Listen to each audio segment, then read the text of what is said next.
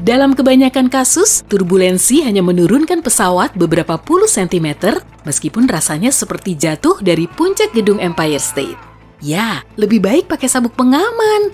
Jika turbulensi cukup kuat sehingga pilot meminta kru kabin untuk duduk, artinya pesawat bisa turun 3-6 meter. Turbulensi ekstrim yang bisa membuatmu takut setengah mati memang langka, tapi turbulensi macam ini bisa menurunkan ketinggian pesawat hingga 30 meter. Sikat boy! Yiha!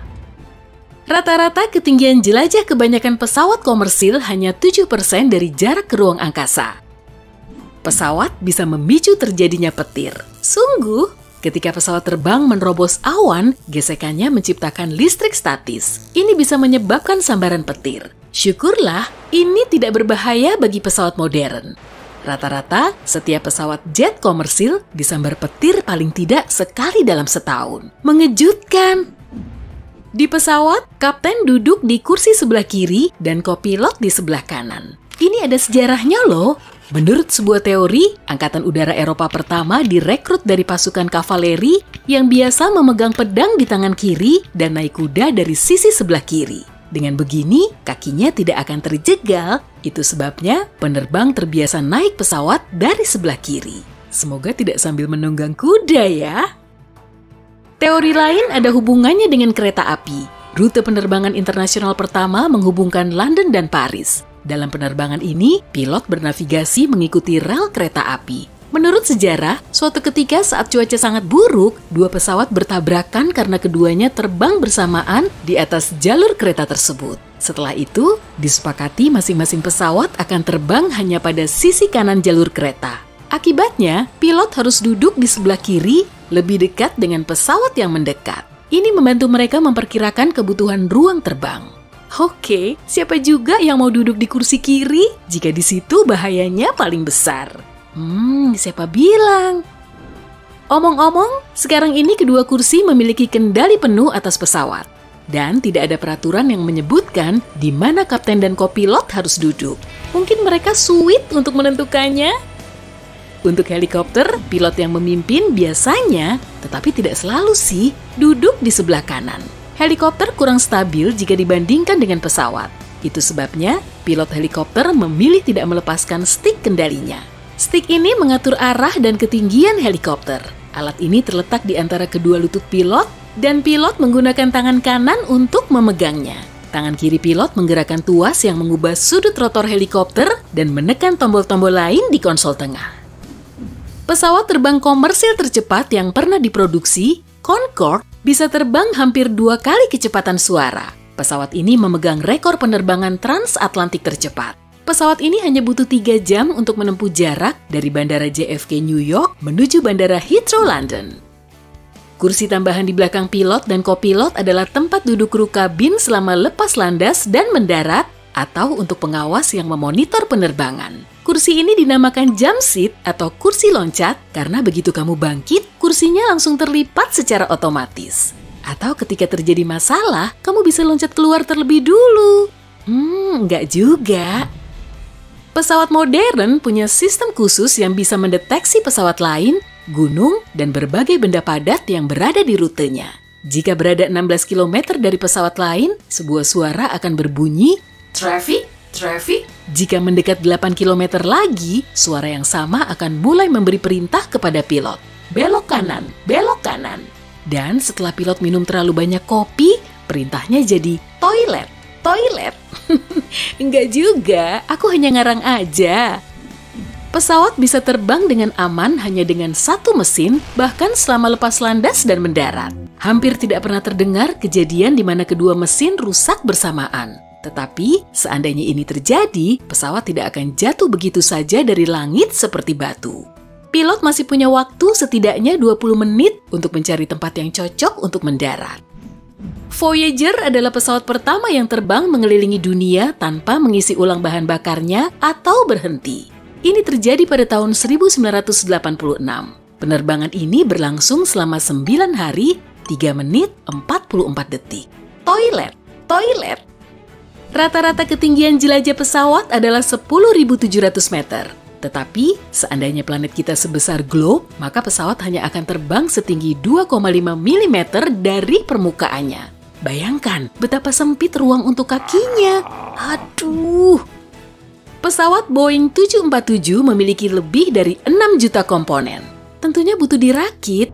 Berat masing-masing mesinnya mencapai hampir 4.080 kg, setara dengan dua setengah kali berat mobil kebanyakan. Harganya juga berkisar antara 117.000 sampai 148 miliar rupiah.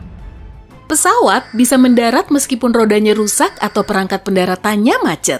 Pilot cukup menggelincirkan lambung pesawat di atas landasan.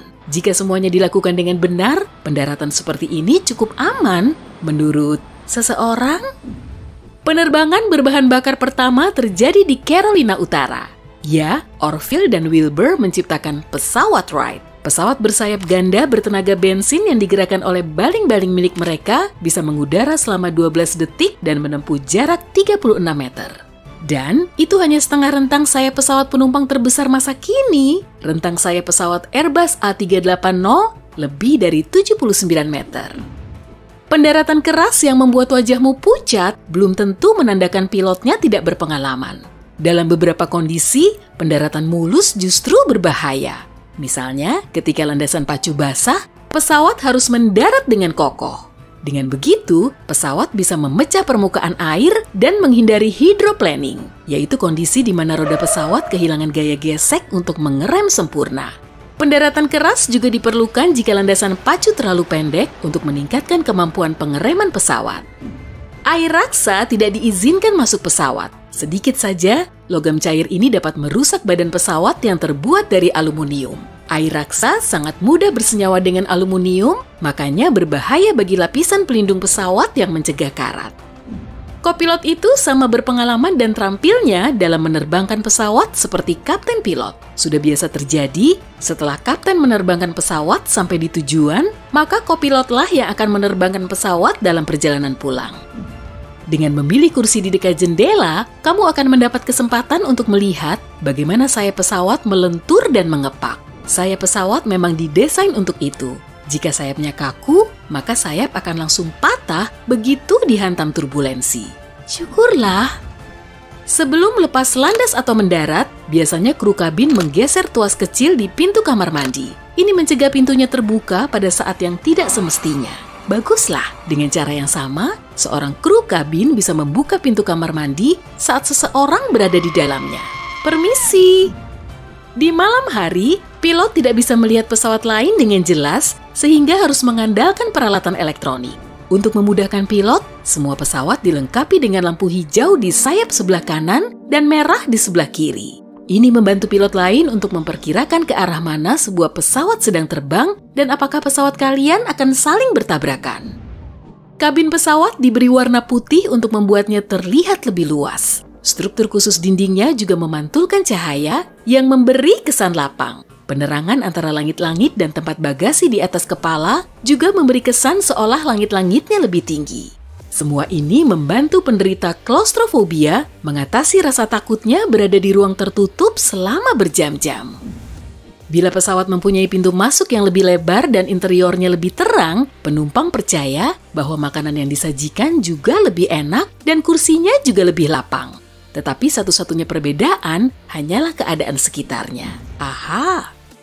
Terbatasnya jumlah oksigen dalam pesawat berpengaruh terhadap suasana hati penumpang. Ini membuat kebanyakan orang jadi emosional. Sekitar 41% orang mengaku pernah menangis ketika menonton film saat terbang. Dan 55% mengaku mereka merasa lebih emosional ketika dalam penerbangan.